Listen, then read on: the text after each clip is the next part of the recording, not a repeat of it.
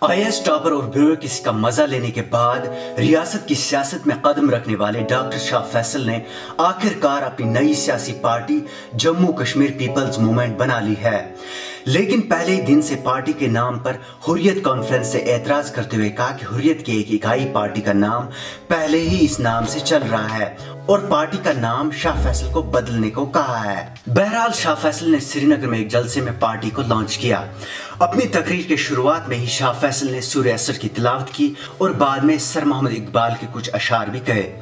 اعوذ باللہ من الشیطان الرجیم، بسم اللہ الرحمن الرحیم۔ والعصر۔ ان الانسان لفی خسر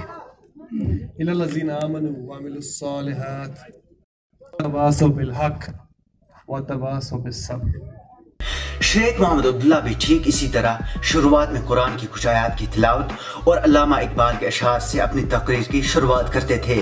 اپنی تقریر میں شاہ فیصل نے کہا کہ انہوں نے سوچا کہ آئی ایس آفیسر بن کر سکول تعمیر کریں گے اور ترقیاتی کام۔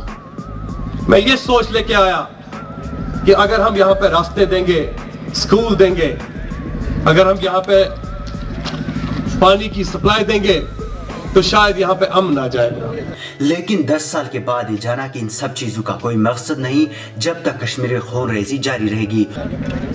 دس سال گزار کے بعد مجھے یہ احساس ہوا کہ جب تک یہاں کا نوجوان پریشان ہے جب تک یہاں پہ خون ریزی کا عالم چلتا رہے گا جب تک یہاں کی ماؤں بیٹیوں کی عصمتیں محفوظ نہیں رہیں گی، اور جب تک یہاں کی نئی جنریشن ایک تلاتم کا شکار رہے گی، تب تک یہاں پر ڈیولپمنٹ کا کوئی مقصد نہیں رہتا۔ ہے انہوں نے کہا کہ پچھلے ستر سالوں سے سیاسی پارٹیوں نے کشمیر کی عوام کو غلام بنا کر رکھا ہے۔ وہ کسی ایک پارٹی میں شامل ہونا چاہتے تھے، لیکن جموں، کشمیر اور لداخ کی عوام نے انہیں نئی پارٹی بنانے پر مجبور کیا۔ اب مجھے فیصلہ کرنا تھا کہ مجھے کون سی پارٹی جوائن کرنی چاہیے۔ میں نے سوچا، میں ایک مخصوص پارٹی جوائن کروں۔ ان کے لیڈرز کے ساتھ بات بھی کی، لیکن اس بیچ مجھے جتنی گالیاں پڑی جس طرح کا اینگر اور آؤٹریج یہاں کے یہاں کے عوام نے اور خاص کر یہاں کے نوجوانوں نے دکھایا، میری آنکھیں کھل گئی میں نے فیصلہ کیا کہ ہم اپنی ایک نئی جماعت کریٹ کریں گے۔ اور آپ میرا یقین کیجیے کہ مجھے یہ نئی جماعت بنانے پہ مجبور کیا۔ یہاں کے عوام نے، جموں کے عوام نے، راجوری پوسٹ کے عوام نے لہ کرگل کے نوجوانوں نے۔ اور اب ان پارٹیوں کے لوگ مجھے آر ایس ایس کا آدمی کہہ رہے ہیں۔ انہوں نے کہا کہ جب بھی کوئی انقلاب لے کر آتا ہے تو اسے رد کیا جاتا ہے۔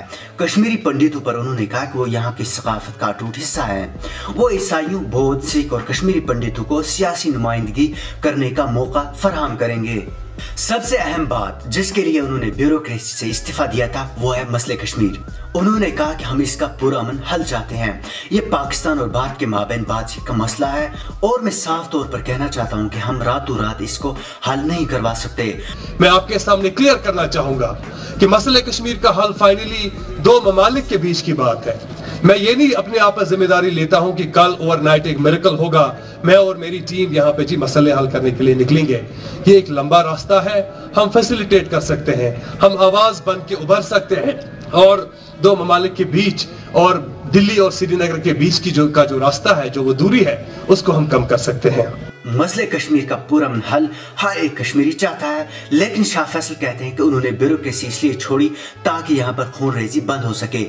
لیکن اب وہ کہہ رہے ہیں کہ مسئلہ دو ممالک کے بیچ بات چیت کا ہے۔ دوسری بات یہ کہ کشمیر مسئلے کی وجہ سے یہاں خون ریزی ہو رہی ہے۔ تو کیا شاہ فیصل اس مسئلے کو حل کیے بغیر یہاں خون ریزی روک پائیں گے؟ کچھ روز قبل شاہ فیصل کی پارٹی لانے سے پہلے پارٹی نے ایک پرومو ریلیز کیا، جس نے پرومو کے شروع میں ہی کہا گیا کہ کوئی بھی ملک یا قوم سڑکوں سے یا عمارتوں سے نہیں، بلکہ روشن دماغ شخصیات سے پہچانی جاتی ہے۔ دنیا کانت قوم کانت ملک چھن فقط بجو عمارتو یا بجو سڑکوں کن پرزناون یوان بلکہ چھ قوم تمو ذہین تو روشن دماغ شخصیتوں کن پرزناون یوان یم آفتاب چی شکل نمودار سپدان تا عالمس روشن کران جن میں گاندھی جی علامہ اقبال، یاسر عرفات، علی محمد جنہ نیلسن منڈیلا جیسی شخصیات کی مثال تصاویر کے ساتھ دی جاتی ہے۔ اگر ہم ان شخصیات کی زندگیوں پر نظر ڈالیں تو مہاتما گاندھی اور علی محمد جنہ نے انگریزوں کے خلاف آزادی کی جنگ لڑی۔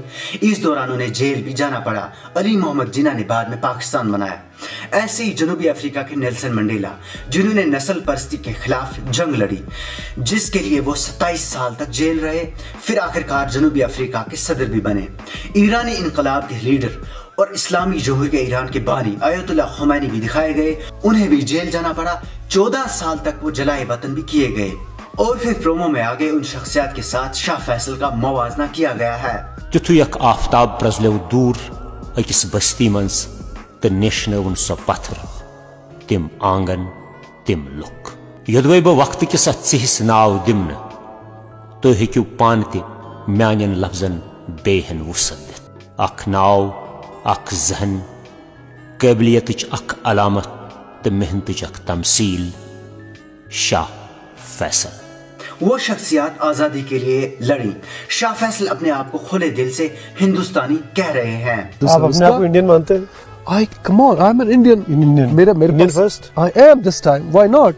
ان شخصیات نے اپنی زندگیوں کے کئی حصے جیلوں میں گزارے جبکہ شاہ فیصل پہلے ہی کہہ چکے ہیں کہ وہ حریت اس لیے جوائن نہیں کرنا چاہتے کیونکہ ان کی زندگیاں بہت سخت ہیں انہیں جیلوں میں رہنا پڑتا ہے بہٕ چھُس مےٚ پرٛژھُکھ لُکو دوٚپُکھ ژٕ کیٛازِ نہٕ ہُریت کران جوین مےٚ دوٚپمکھ ہُریت جوین کرُن چھُنہٕ اکھ عام چیٖزا کینٛہہ یہِ چھُنہٕ کانٛہہ مزاقا کینٛہہ یہِ چھُنہٕ نوکری کینٛہہ اَتہِ چھُ جیل گژھُن اَتہِ چھِ فیملی تُہٕنٛدۍ بچہِ یِم چھِ ترٛاوٕنۍ اَتہِ چھُ زبانچہِ آزٲدی پٮ۪ٹھ چھِ پابنٛدی اَتہِ نظر بنٛدی مےٚ دوٚپُس مےٚ ہیوٗ اِنسان یُس أمِس عادت چھُ آسان گوٚمُت عام چیٖزن ہُنٛد مُلازمتُک کُرسی ہُنٛد تنخواہُک شاید چھُنہٕ مےٚ خٲطرٕ تیوٗت چھُنہٕ مےٚ ذہنس منٛز وٕنہِ ماٹِویشن کہِ بہٕ ہٮ۪کہٕ ییٖژاہ بٔڑ سٹرگل کٔرِتھ اسلیے چھُس بہٕ سونٛچان کہِ یہِ مےٚ کوٚرمُت چھُ وٕنیُک تانٮ۪تھ یتھ منٛز مےٚ ٹریننگ چھِ، بہٕ چھُس بہٕ زانان چھُس کہِ آفِس کِتھ کٔنۍ چھُ چلاوُن، بہٕ چھُس زانان کہِ روڈ کِتھ کٔنۍ چھِ بناوٕنۍ، بہٕ چھُس زانان کہِ ڈی سی شِپ کیاہ گٔے، اصل ایڈمنسٹریشن گورننس کِتھ کٔنۍ چلاوو، کرپشن کِتھ کٔنۍ کرو ختم۔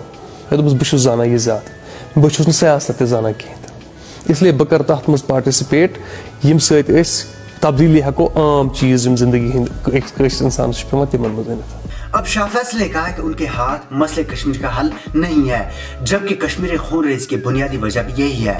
اب شاہ فیصل کہہ رہے ہیں کہ سڑکوں اور باقی ترقیاتی کاموں کا کیا مقصد؟